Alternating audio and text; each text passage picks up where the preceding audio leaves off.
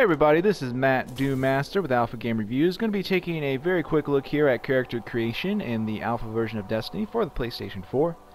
Uh, we're starting off here at the choose your class screen and we see we got three choices. Titan, Hunter, Warlock. Now, the exact nature of what these choices are going to mean for you, I can't really say at this point. This is alpha. I just started playing this. I've played a little bit on a Titan character already.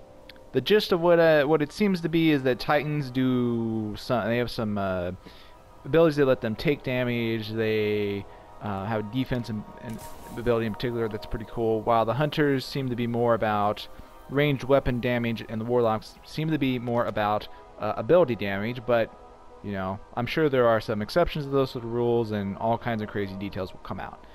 I'm going to select the Warlock here. And then we're going to look at the races. So there's three races, Human, Awoken, Exo. I don't believe there's any stat difference between them. Um, we You're looking at the Exo right now, which, yes, they are, uh, they're cyborgs. So there's a male Exo. There's a female. The look here is randomly generated each time you create a character, so they have different options they pre-select, but of course you can change those as you'd like. The Awoken are kind of like those uh, characters from Prometheus, you know, the big white guys. That Remember that terrible movie? Uh, and then the humans are, well, they're humans. I mean, what do you want? So, go ahead and, and go in here real quick to face options. The Awoken and human face options are pretty similar. I mean, there are differences between them.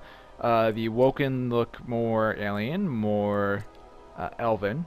I, I, I wanted to say that you almost think you could make a nice, nice Drizzt Do'Urden impression with an Awoken, minus the pointy ears. Um, but as you can see, otherwise they're pretty similar.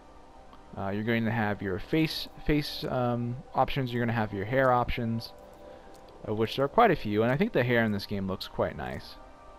You can also change eye color, lip color, hair color, and finally you have your markings, which are tattoos. And the hairstyles and tattoos also are slightly different between the humans and the Awoken. Like, um, got that sort of tiger-looking tattoo there. And then I go to the humans. You see, we we have like a skull tattoo and this sort of I don't know pyramid tattoo and things like that. The exos are a little bit different, um, and I, I think really cool. because when you go to their face options, of course, they're robots, so you get a lot of variety. I mean, there's still seven options, but they look, you know, they look a lot different from each other. Uh, you can sort of go with this eyeless option if you'd want, or you can go with this guy over here who kind of has this looks like the top of a skull. You can go with the default, or at least the first selection, the ultra smooth look. You know, there's just a lot of variety here. And you get a really wide variety of options for skin color, in quotes, because you have no actual skin. You can be painted wide variety of things and some of which are really cool. Like this, um, got a little bit of a camo thing going on there, for example. So uh, it doesn't show up as in the palette exactly, but when you actually select it, you see, oh, I've got purple camouflage now. That's pretty awesome. And the same goes for mouth color and etc. Although you don't get quite as many options. And when it comes to the mouth color, that actually usually is about the glow of your character, like the inside of your character's face. You have to look closely at the video, you can see when I'm changing the options. There's some internal lighting there, which is changing. And uh, head features also are pretty cool because you get like an armored visor or you can choose these horns or you can choose little antennas that come out of the side of your head for that sort of retro look lots of really cool stuff and then the markings, they're pretty much just like tattoos with the other characters.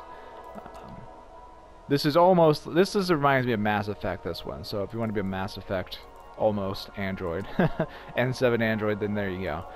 So that is pretty much the extent of the character creation, though. There's not any other options uh, to speak of, and once you're finished here, uh, you know, there's not any stats to choose from. You don't choose any any abilities at the beginning uh, you just get dropped right off into the tutorial area. At least that's how it works right now in the alpha. That may change uh, once the game is actually released. So that is it for Destiny character creation.